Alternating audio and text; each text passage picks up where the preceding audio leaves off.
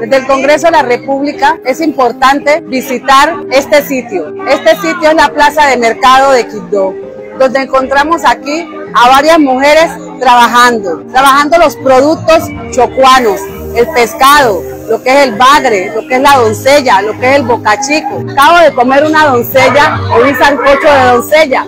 Miren las condiciones en que se encuentran. Son condiciones que no son aptas para este tipo de trabajo. Por eso nosotros desde el Congreso de la República vamos a implementar y vamos a empujar proyectos de ley que sirvan para estas pequeñas microempresas, para que nosotros podamos tener créditos blandos, para que ellos puedan mejorar sus condiciones y sus establecimientos de las comidas. A pesar de que nosotros vemos que no están en óptimas condiciones, tienen asesia, vemos sus ollas bien limpias, sus platos bien limpios, donde la gente puede venir a consumir los alimentos de manera tranquila pero sí necesitamos organizarlas para que ellas se sientan cómodas. Obviamente los comensales o los clientes puedan sentirse también a gusto al ingerir estos alimentos.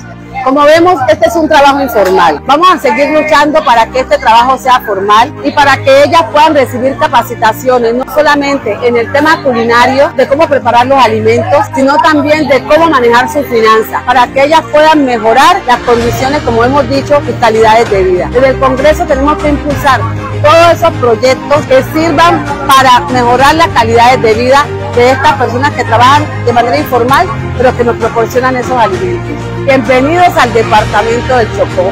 Bienvenidos y nosotros los vamos a seguir atendiendo con nuestra rica gastronomía. Mi nombre es Sol, vendedora en la plaza de mercado. Vendemos comida. Nos gustaría que nos apoyaran con el mejoramiento del techo, del piso y el agua potable. Eh, yo llevo 37 años trabajando en la plaza de mercado, vendiendo comida. Entonces hacerles el llamado a ella para que nos colaboren también. También muchas gracias por estar pendiente a nosotros acá en la plaza de mercado, a las vendedoras de comida del mercado.